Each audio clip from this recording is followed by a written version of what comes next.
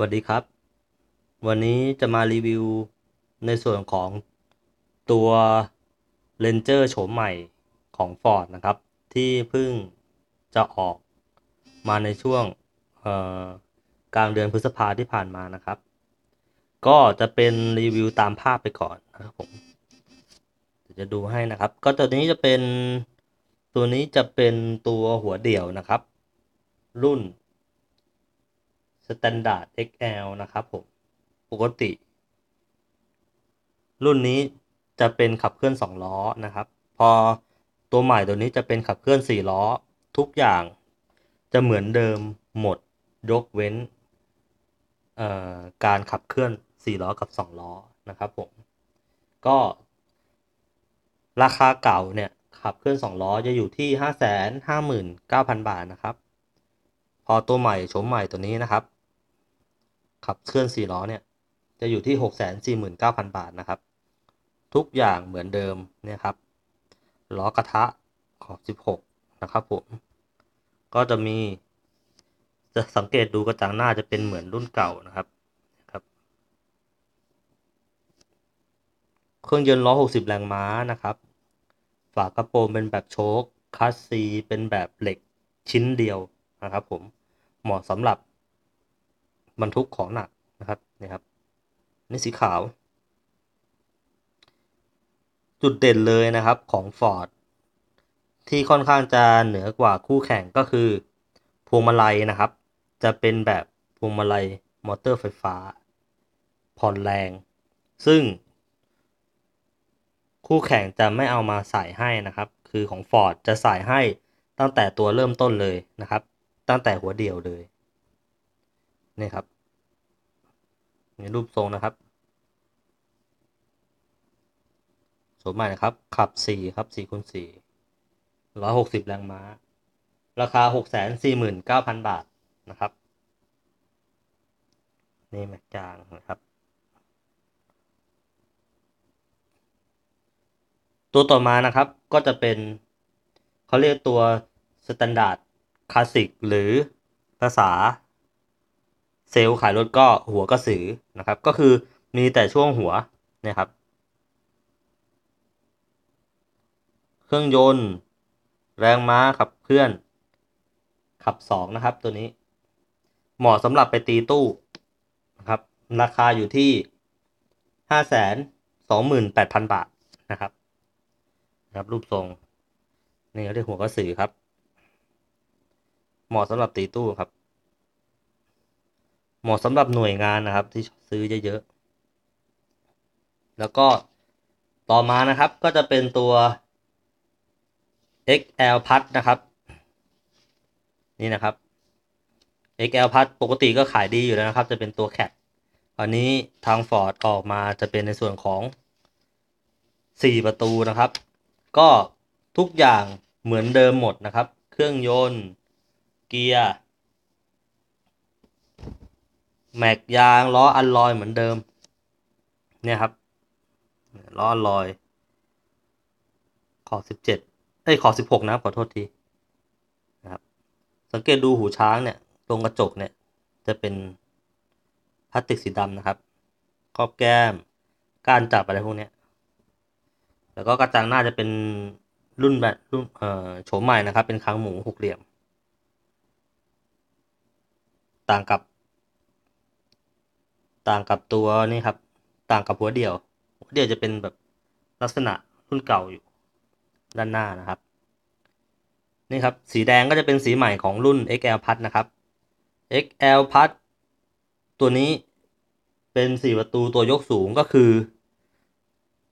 บอดี้ภายนอกรูปลักษณ์ภายนอกเนี่ยจะเหมือนตัว XLT 4 ประตูทุกอย่างนะครับ ต่างกันแค่ออปชันภายใน ซึ่ง จะต่างกันก็พอสมควร แต่ภายนอกเครื่องยนต์คัสซีเหมือนกันเครื่องยนต์ตัวเดียวกัน เกียร์เดียวกันนะครับ เหมือนกันหมดเลย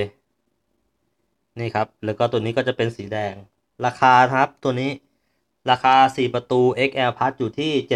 749,000 บาทนะครับ ซึ่งในส่วนของราคาเนี่ยจะคุ้นๆ เพราะว่าจะไปเท่ากับตัว XLT ตัว cab เกียร์ manual ราคาเท่ากันเลย แต่ XLT ตัว cab เกียร์ manual จะได้ระบบภายในรถที่ดีกว่า แต่ห้องผู้โดยสารจะเป็นตัวแคปแต่ XL พัทเนี่ย ห้องผู้โดยสารจะเป็น 4 ประตูจะใหญ่กว่า แต่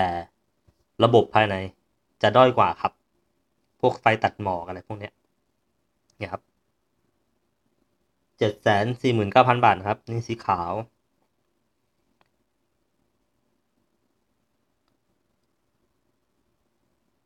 ครับข้างหน้าดำนะครับอ๋อตัวนี้จะเป็น ตัวนี้จะเป็น XLT แล้วครับ ตัวใหม่เหมือนกันนะครับ XLT Cap นะครับ จะเป็นขับเคลื่อนสี่ล้อ นะครับผม ก็ตัวนี้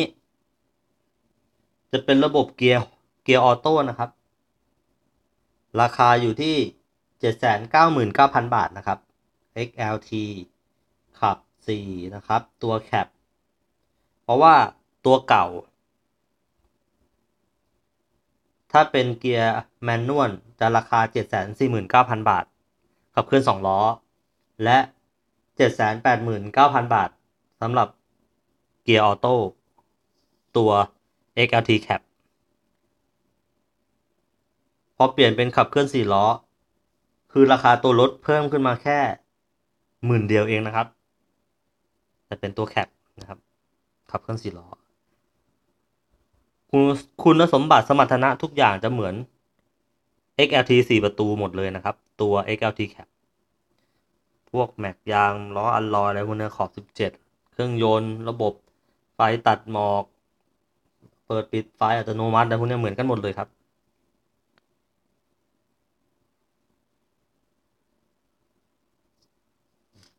ดูตัวต่อไปนะครับ อ่า อันนี้ยังเป็นตัวแคป XLT Cap ขับ C อยู่นะครับ ขาว นี่น้ำเงินมีนะครับ ถ้าไม่ชอบขับเคลื่อนสี่ล้อก็เป็นออโต้ขับเคลื่อนสองล้อเจ็ดแสนแปดหมื่นเก้าพันบาท ถ้าใช้ขับ ขับ ขึ้นเขาอะไรพวกนี้ก็ขับเคลื่อนสี่ล้อ เพิ่มหมื่นหนึ่งเป็นเจ็ดแสนเก้าหมื่นเก้าพันบาทนะครับ ตัวนี้ มาดูอีกหนึ่งรุ่นนะครับ ก็จะเป็นตัว y t a g ซึ่งปกติแล้ว ก่อนหน้านี้ออกมาจะมีสองสองแบบจะเป็นขับเคลื่อนสองล้อ กับขับเคลื่อนสี่ล้อ ระบบเกียร์จะเป็นสิบสปีด ก็คือเครื่องยนต์สองพันเครื่องใหม่ ราคาก็หนึ่งล้านสองหมื่นเก้าพันบาทสำหรับขับเคลื่อนสองล้อ และก็หนึ่งล้านสองแสนหกหมื่นห้าพันบาทสำหรับขับเคลื่อนสี่ล้อ ตัวไบเทอร์โบนะครับ ก็ทาง Ford ได้ออกมาเป็นอีกตัวหนึ่งจะเป็น y t a g เกียร์ธรรมดานะครับ เพราะก่อนหน้านี้ 2 รุ่นจะเป็นเกียร์ออโต้หมดเลย 10 speed ตัวนี้ก็ทุกอย่างเหมือนกันหมดยกเว้นระบบเกียร์เป็นเกียร์ธรรมดา 6 speed นะครับ ราคาก็อยู่ที่ 979,000 บาทนะครับ เป็นเครื่องยนต์ 2.0 เครื่องใหม่เหมือนกันนะครับ ระบบก็เหมือนกันหมดเลยนี่ครับ ก็ยังคงความสวยงามครับสปอร์ตบาร์เหมือนเดิม ใช้ได้จริงแม็กยาง 18 แล้วหลังคาก็ใช้ได้จริงครับ นี่มีอีกไหม นี่ครับ อันนี้จะเป็นตัวเอ่อ XL เดี๋ยวผมดูก่อนนะครับ XL ตัวเตี้ย XL ตัวเตี้ย ซึ่งถ้าเป็นตัวสูงเนี่ยจะลุยน้ำได้สูงถึง 80เซนติเมตรนะครับ แต่ถ้าเป็น XL ตัวเตี้ยก็ลุยน้ำได้ 50เซนติเมตรก็จะเป็นโฉมใหม่จะเป็นในส่วนของออกมาเป็นรูปลักษณ์แบบ 4 ประตู ปกติแล้วจะเป็นตัว XL ตัวเตี้ยแคปนะครับ ตัวเตี้ยแคปราคาเดิมจะอยู่ 599,000 บาทนะครับ อันนี้ก็ออกมาตีตลาดนะครับ ก็เป็น 4 ประตูตัวเตี้ย ราคาก็อยู่ที่ 689,000 บาทนะครับ ตัวนี้ราคาเนี่ย โอเคเลยนะครับ จับต้องได้เลย ไม่แพงครับ แค่พวงมาลัยไฟฟ้าก็คุ้มแล้วครับ ตรงนี้ เครื่องยนต์ก็ร้อยหกสิบแรงม้า หัวฉีดเป็นแบบเพียโซนะครับ หัวฉีดแบบรถแข่งหกรูฉีดเป็นฝอยละอองละเอียดนะครับ ช่วยในการเผาไหม้ได้ดีขึ้น นี่ครับ ตัวเตี้ย ขาว